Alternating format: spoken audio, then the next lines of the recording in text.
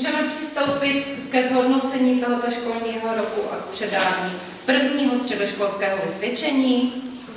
To je otázka. Ano, může.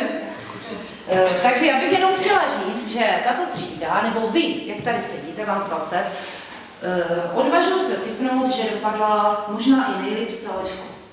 A víte, že my máme ve škole plno tříd. Jo, rozhodně 25 a více.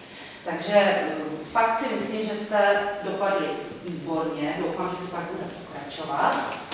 A když řeknu na úvod, že všichni prospěli, už to je úspěch, nebyla tam žádná nedostatečná, a šest z vás, šest z těch dvaceti prospělo z vyznamenání.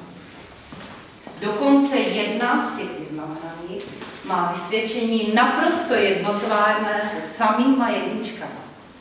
Což teda, až budeme předávat, si určitě zaslouží velký potlesk. Takže já bych vás prosila, kdybyste vždycky si sem přišli pro to. Tak, Nikol Bajčehová. Nikol je jedna z těch, která prostě má vyznamenání, takže jí uděluji pochvalu třídního učitele.